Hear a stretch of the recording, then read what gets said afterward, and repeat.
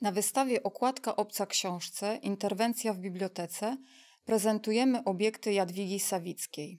Artystka nadała starym książkom nowe tytuły i namalowała nowe obwoluty, tym samym unieważniając treść książek. Gest jest radykalny, ale jednocześnie odwracalny. Jadwigę Sawicką interesuje zjawisko księgozbioru.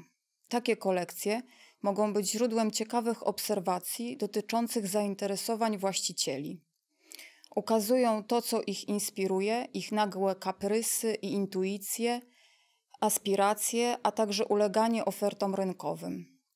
Na księgozbiór można spojrzeć także jako na byt niezależny, w którym sąsiadujące ze sobą tytuły tworzą własną narrację. Tak jest w przypadku wystawy Okładka obca książce. Koncepcja wystawy kontrastuje z Biblioteką Mieczysława Porębskiego i wizją historii sztuki profesora.